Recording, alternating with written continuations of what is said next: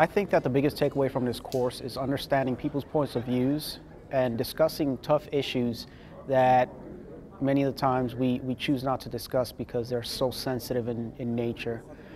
Navy Region Japan held another bilateral non commissioned officer leadership continuum, but this time at Naval Air Facility Atsugi, and invited members of the Japan Maritime Self Defense Force and United States Army Japan.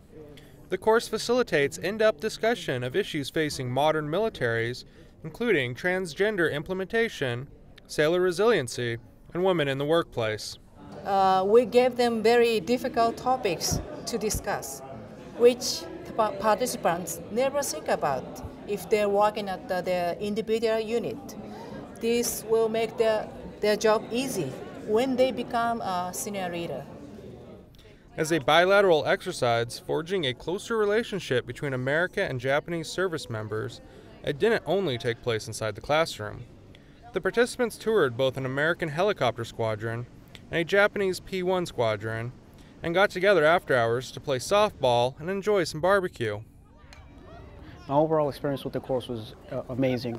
We spoke about very tough um, topics, and we definitely did not all agree um, or have the same thought process whenever discussing these issues, but we did come to a common ground, uh, which was usually acceptance and the wanting to better as a military.